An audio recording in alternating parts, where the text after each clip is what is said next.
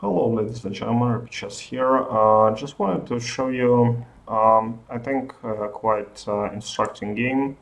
This is from current um, uh, this internet uh, mm, internet rapid, and uh, it's a game between Niemann and Ju Wenjun, women world champion.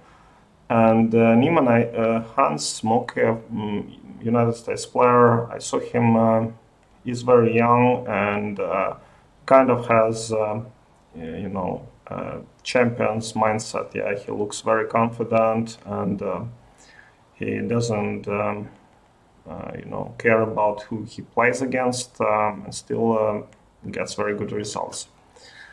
So let's see this game. d4, knight f6, g6, bishop g7. So uh, Hans goes for the King's Indian defense. Uh, for young players, very uh, very natural to play such um, aggressive openings. For instance, Nakamura played it uh, until he uh, until he became like 20 years old, and then he switched to, uh, with all exceptions, to this um, Nimzo Indian defense. Yeah. Um, um, because it's more solid. And for these young players, it's uh, more common to play as sharp as possible. d6, knight to d7. Uh, I had this position with white and black. Um, I didn't play knight to d7 though. I played something like a6, knight c6, uh, and e5. Um, so black uh, counter-attack in the center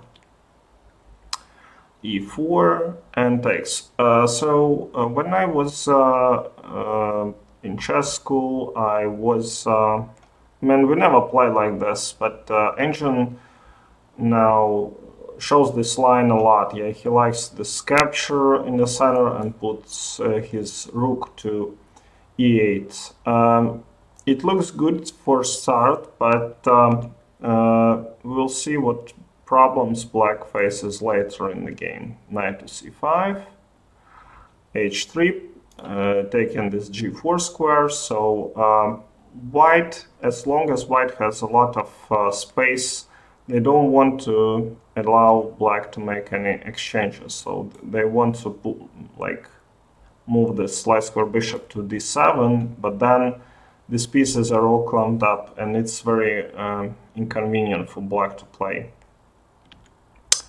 rook e8, uh, rook a1, nothing to say here, h6. Uh, basically with the same idea, but I think uh, already here uh, black faces, black just makes uh, logical moves, yeah, but um, we see that their counterplay is stuck. Yeah, you don't, your knights are very well placed, but um, uh, that's it basically. You need to create tension in the center, but again, it's not possible because uh, you don't want to play f5. It uh, weakens your your king too much. a5, b3, and uh, uh, knight to d7. So this is like, um, according to engine, this is the losing move already.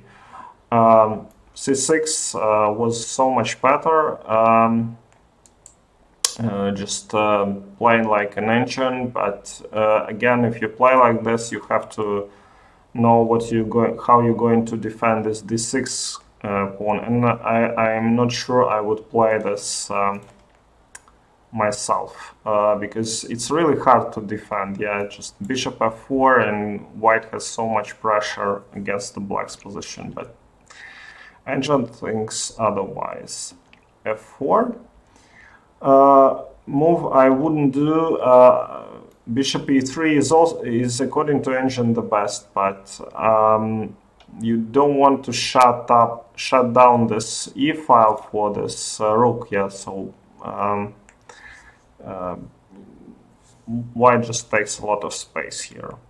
Knight b6, opening up the bishop bishop e3 and bishop to d7. So uh, basically uh, black spent two tempi on this knight maneuver and I'm not sure what's what it, it is doing there. I think it's overall Hans' strategy to play as quickly as possible and maybe wait for, um, uh, I mean, for some complications in the center where he can show his ability to calculate really quickly. But it's not like, uh, you know, this smooth has a lot of sense in it. Uh, knight uh, to b5. Now c6 is not possible because d6 is hanging. So he traded, uh, and white got two bishops. So notice that uh, how white uh, gets uh, advantage one by one. First they gain space, then they force basically black to give up their bishop, um, and now white has two bishops. And in this position, I'd say that um, uh, white has material advantage, yeah, because the position is pretty open, it's not closed, it's semi-open, let's say. And with two bishops, uh, white will always have uh, quite significant advantage. And in this posi position, engine says that it's plus two for white. Uh, knight d7, just uh, making moves rook c8 uh, in order to move the queen. And uh, again, um, I played the game against uh, uh one girl. She's an A player, but uh, I won it. And she started. Um, I was much better with with black pieces, and uh, um, she started offense in the center, complications, and I, I like. Um, uh, won, but I defeated her. But the problem with uh, her play was that she didn't play this move like rook to d1 or rook to e1. Yeah, the rook just stayed on h1, and of course I had uh, as long as I was much better developed than I was better with all the tactics which happened on the game. But at this point never uh, when you have comfortable position when you don't have to rush you just have to develop your pieces. Don't forget about it. Uh, okay uh, so uh, she saw that her pawn is attacked she defended it h5 engine says that g5 is a move here. Uh, not a big difference actually but uh, engine wants to create tension. Yeah if you play f5 then it's actually black is better, yeah, because they have this grasp on the dark squares, yeah, so um, engine continues like a3, yeah, but uh, g5 is a more complicated move. a5 is um, just, you know, another quick move by Hans. Queen d2, h4, g4, definitely you don't want to break up your nice center g5 and this is the move of the game here. Uh, again many of you would play f5 and give up all the advantage uh, which is like uh, basically um, blundering a piece. Uh, he, uh, but she played this very good e5 move. Yeah it um, um, she wants to um, you know, if black takes, then uh, they cannot put a piece on e5. It takes too much time and effort to do that. And when uh, you cannot place your piece here, then uh, white is just better. So very nice maneuver. She took the pawn. Knight to c3 knight d5. So she moved uh, her knight, uh, knight to a more active square, goes back, queen f2. Uh, yeah, I would play bishop g3 here. I just um, uh, I don't think it's a good idea to you know let your opponent to capture this very good bishop. But Hans didn't take it. Knight f6 and uh, queen to h6. Um, the problem for, uh, again, for black, black has now some means of counterplay, obviously. Uh, they have this f4 square, and uh, uh, white is pawn up, they have two bishops. So white, um, and white has more control of the center. So um, some compensation for, for white here bishop g3, um, h4. Now, uh, white's idea is to uh, push these pieces back, or if they trade everything, I think they will have very good chances to win an endgame. And uh, of course, the trades should be favorable, favorable for uh, for white at some point, and they want to, you know, uh, push these knights from this outpost and uh, make black's life very uncomfortable. H5.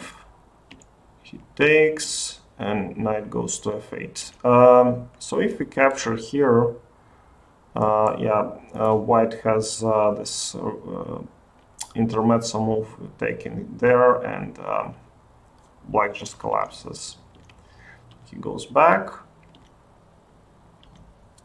defends the pawn, rook to d1. Now, uh, as long as um, black tries to attack this pawn, uh, white has time to create their own threats. And uh, also this g5 at some point will be deadly, yeah, to fork to, to minor pieces and win.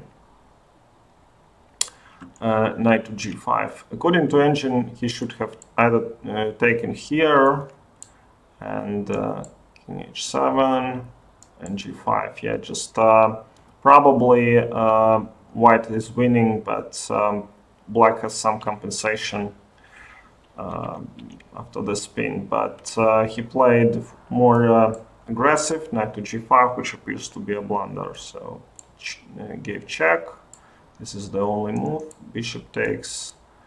And after this move, uh, black resigned because it's um, basically made into rook h8 mate and you don't you have to defend with something like uh, knight to g6 but it's anyways mate in a couple of moves. All right um, thank you very much for watching and uh, see you next time